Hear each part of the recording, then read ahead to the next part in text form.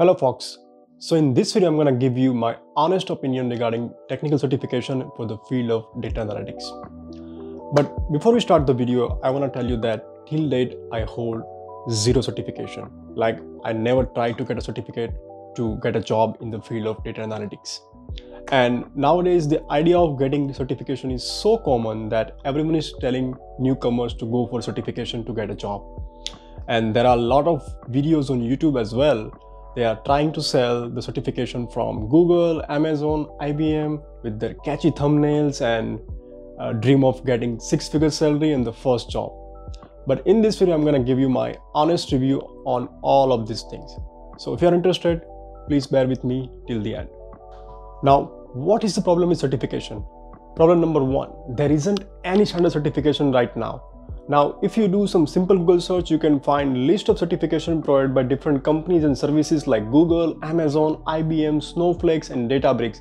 And there are so many companies that at the end of the day, with so many options, you will get overwhelmed. Number two, validity. Now there are some time when company mention in the description that our certificate is going to be valid for next to two to three years because technology around us is changing so rapidly that the things or services that we are using right now going to be outdated within two to three years. Number three, the examination procedure.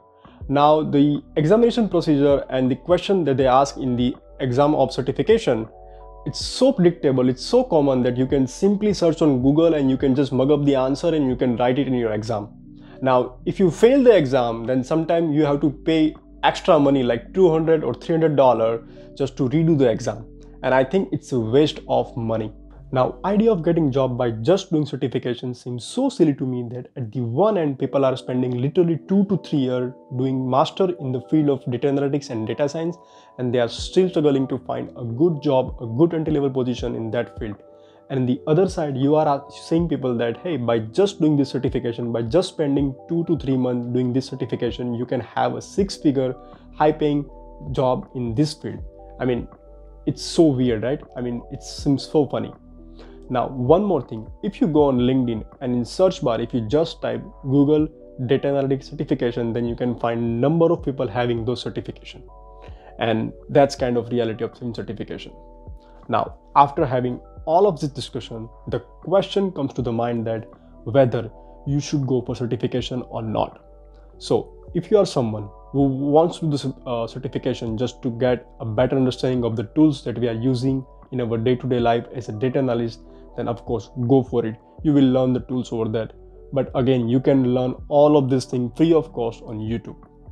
Now if you are someone who is seeing certification as a ticket or as a pass to enter into the job market then i think you should think twice. Because in real life employer doesn't want your certification. Employer want your skill and profound knowledge. And how can you get all of this thing? By just doing project right? Now here I want to mention one more thing.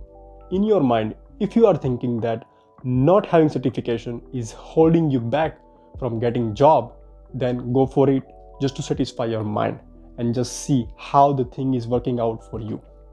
So that is my advice on certification.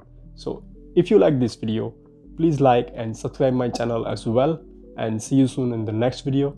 Till then, bye bye.